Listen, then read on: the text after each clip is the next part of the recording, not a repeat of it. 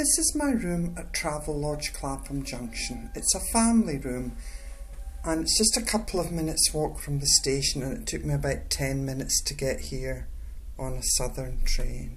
Loads and loads of trains from Victoria down to Clapham Junction. So the room's got two windows. There's a gym over there. Good area to be in. There's a Asda's round the corner. There's a Debenhams just up there. I can see a McDonald's. So plenty of opportunities for shopping and eating.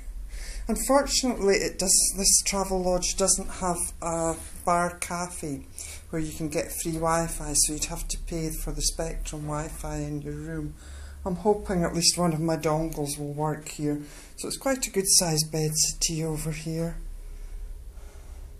and out the other window is a bus stop. There's a wee bit of noise from traffic, but even with double glazing, you're going to get that. And the bathroom looks like a moulded bathroom. The newer Travelodges seem to have these moulded bathrooms that they must just slot in. It does have a little bath and a shower over there.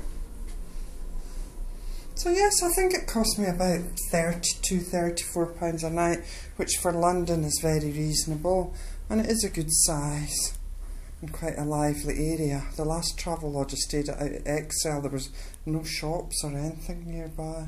It's handy for the exhibition centre. So yeah, lively location.